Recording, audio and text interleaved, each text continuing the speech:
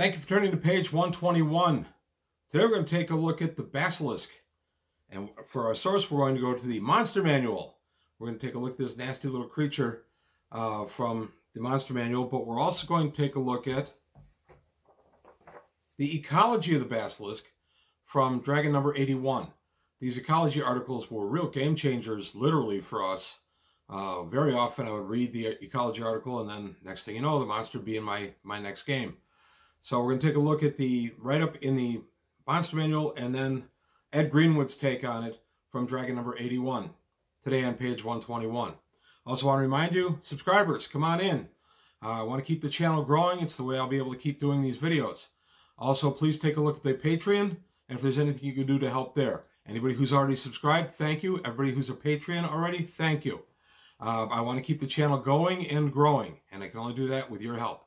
So that's it for the end of the commercial. Today, the Basilisk from Monster Manual and Dragon number 81. The Basilisk in AD&D. Use with caution. Uh, without a lot of effort, this can be a total party kill. So we're going to go to page 8 of the Dungeon Master's Guide. And there's our handsome friend right there. I'm going to go ahead and zoom in a little bit. There she is. So the Basilisk, number appearing 1 to 4. That would be a mated pair with younglings. Um, six plus one hit dice. Armor class four. One attack per turn, per round rather. Damage per attack is one to ten. Its gaze turns you to stone. It is animal intelligence, it's neutral, and it's medium. It's seven foot long. That must not include the tail. Uh, or maybe it does include the tail. Um, the basilisk is a reptilian monster, although it has eight legs. Its slow metabolic process allows only slow movement. While it has strong, toothy jaws, its major weapon is its gaze, by means of which it is able to turn to stone any fleshly, fleshly creature which meets its glance. However, if its gaze is reflected so the basilisk sees its own eyes, it will itself be petrified, but this requires light equal to a bright torch and a good smooth reflector. Basilisks are usually dull brown with yellowish underbellies. Their eyes are glowing pale green. The basilisk is able to see in both the astral and ethereal planes. In the former plane, its gaze kills. In the astral, it will kill you. While in the latter, the ethereal, it turns the victim to ethereal stone, which can only see, be seen by those who are in the plane or can see ethereal objects. Early AD&D worried a lot about the astral and the ethereal planes without explaining it a bunch, and especially in 1977 when this was written. Uh, there was not a lot of information dealing with the various uh, planes. So that was always a little problematic. But the idea that it could see in to the other planes and cause problems was pretty neat. So now, that's just a brief write-up. There's not a lot of meat on the bone on that one. So now, flash forward to Dragon number 81. Uh, this guy is from 1984, January of 84. So to be featured next year, early next year on... Uh, uh, my dragon, uh, want to take a look at dragons. Right now we go to page 27, and there is the Ecology of the Basilisk by Ed Greenwood. What these ecology articles did is they took the creature from the monster manual, and then they fleshed it out. And kind of a pun there with uh, basilisk being fleshed out, since they turned everybody to stone. But this these uh, articles were really useful because they added new depth and dimension to the monsters but they also gave us new ways to use the monsters, some things to think about. And in Ed Greenwood's case, we got a little peek at his Forgotten Realms campaign. Forgotten Realms would not be published until 87, so all we knew about Forgotten Realms were from these uh, articles in Dragon. And Ed Greenwood published a bunch of articles. So this is from an untitled tome in the library of Sulfon of Waterdeep, signed Rapfodel, Sage of Sages. And the game notations appear in this article throughout uh, in uh, italics uh, inside parentheses. In the later ones, they would just put them as footnotes at the end of the article. Uh, and then it goes on. We always get a little bit of uh, a little bit of prose here. No Osage, the creature, creature often asked about is the dreaded basilisk. It's a large reptilian brute that is both slow and stupid. It's feared for its ga infamous gaze, which can at will turn creatures, including both fish and fowl, who meet it to stone. Um, Precisely how the creature's gaze works is a mystery. Most learned sages agree it shoots some kind of radiation out of its eyes.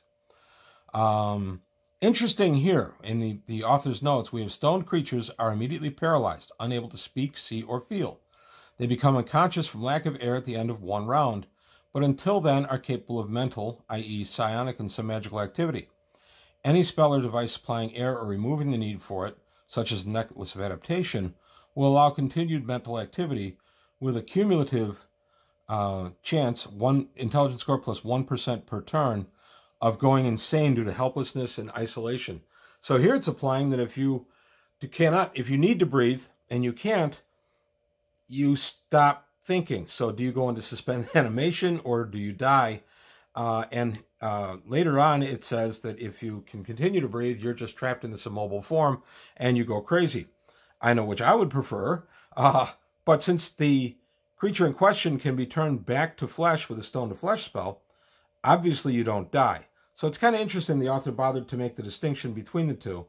Uh, that's not one I've ever had a need to worry about, but it is still kind of interesting. It, again, it adds some nice depth to it.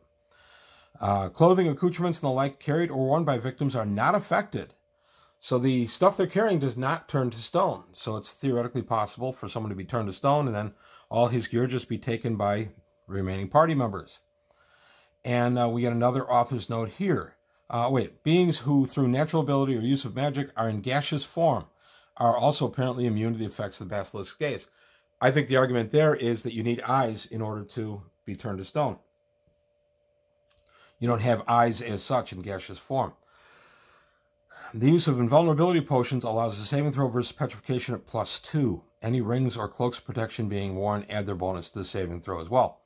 Uh, the use of the potion invulnerability adding plus two, that must be a house rule from Ed Greenwood. I couldn't find any notation on that, but I thought it was pretty good house rule, and I know I use it. Uh, Basilisk has two translucent eyelids, somewhat like the membranes covering the eyes of a frog and basically it opens the, the lid, the inner lids, to let the uh, radiation out to turn things to stone. Uh, these guys cannot move very fast. Uh, first, we'll go back to the gaze. The gaze can see about nine inches in AD&D scale, and if it pulls up the inner lid, it can see up to 11 inches, and then into the astral ethereal plane, it can see seven inches, so 70 feet.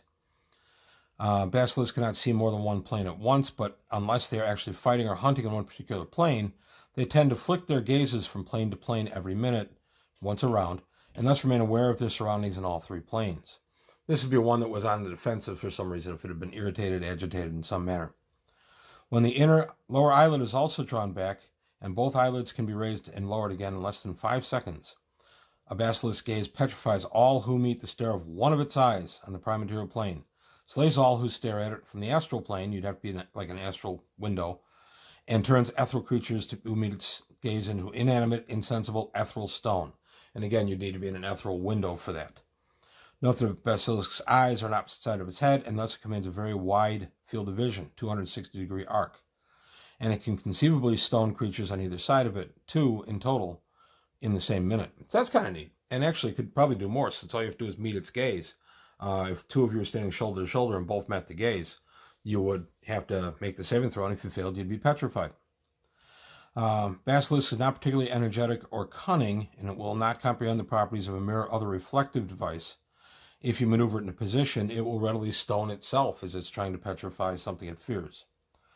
Petrified creatures cannot be eaten by basilisks, and they will therefore strike with their petrifying gaze only at creatures who, by size or aggressive behavior, seem threatening to them and petrified victims who are subject to all the effects of storm that stone stone normally suffers. Those effects include chipping, frost damage, and other weathering, uh, horn blasting, anything like that. Contrary to fireside yarns, stone people who are chipped or shattered do not bleed. Uh, petrification does not otherwise slay creatures who are held in a sort of suspended animation or stone sleep. Protective devices retained by a petrified victim a cube of frost, frost resistance, for example, will continue to function. So I guess that means that the cube frost resistance, if you had been inside of it when you were petrified, it would continue to function. Uh, that, that note confused me a little bit when I read this. Basilisk eat all types of small creatures. Uh, they avoid looking uh, directly at other basilisks and they never use their stoning gaze on one another. They will get together and mate, and then the parents will have the children in their lair, and the little kids, the little baby basilisks, have the full ability to petrify with their gaze, which makes things interesting because I'm going to assume that the inner eyelid uh, being closed is a natural instinct. Otherwise, it would turn its parents to stone and we wouldn't have any more basilisks. the egg it lays is uh, leathery and malleable, so it's uh, like soft leathery sack. It can be thrown around and not it will not shatter. Uh, they are cold-blooded, and they derive much of their energy from the heat of the sun. But the basilisk can store some of the energy in its intestines, and this will let it move around with some vigor, even though it's cold out. Uh, because of its fearsome petrifying power, which we should be noted is permanent, it does not wear off. The basilisk has long been sought as, uh, as a guardian. You want to put this guy and guard your treasure. The problem is these guys are pretty stupid and lazy. You've got a good chance of coming up on them while they're asleep.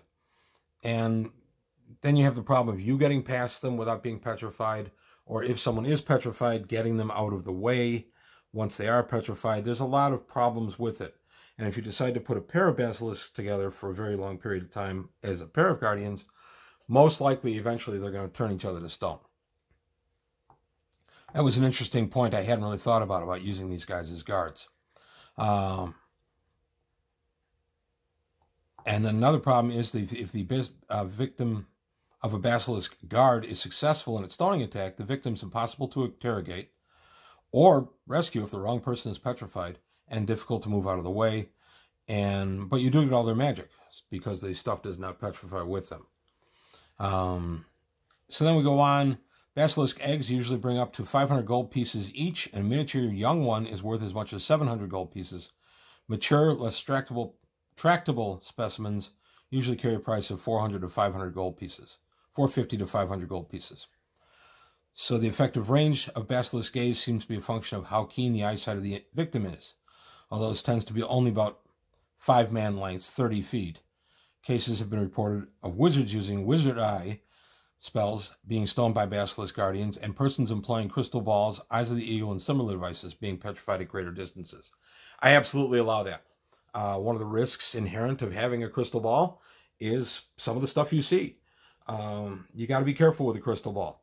And because the basilisk uh, can see you, I mean, that kind of means that it's not the radiation from the eye striking you, it's the magical effect of you meeting the gaze. So as I said, this article does contradict itself a little bit. And again, that was pretty common in early D&D, uh, in Dragon articles, and in, in the game itself. So you just kind of wade through and, and figure out what you want to do with it. The reason Basilisk came to mind is my friend Mike, my player, just painted one up for me. This is from Reaper. And Mike painted this guy for me the other day. I think he did a gorgeous job on this. I love the treasure at its feet. Mike does tremendous detail work. And just for scale, this one's a little bigger than described in the book or in the article. But there you go. These also were painted by Mike. Mike does really good work. So there you have it. So there you have a basilisk staring down two players, and uh, they'll make their saving throw, and maybe the game will end right there, or maybe they'll battle the basilisk, and we'll see who wins. Either way. So that's it. That's all I've got today from page 121. I hope you enjoyed it. I've always liked the basilisk. I've used them many times. Again, you've got to be careful. It's not impossible to do a total party kill with these things if you just happen to have a bad run.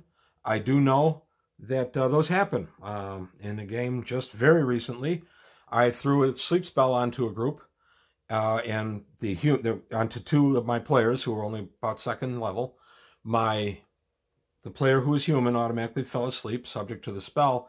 The elf standing next to him, 90% immunity, threw a 93 on the percentage dice and also fell asleep. That's only about the third time I've ever seen an elf fail a check against sleep, but they do happen. So anything like this that allows a saving throw a percentage, you've got to be careful because sometimes you get that unexpected outcome and then you end up with uh, a result you didn't really want. So that's all I've got to say today for page 121. I want to thank you for your time. Thanks for watching. Uh, I hope you liked it. Please like and subscribe, and I'll see you next time.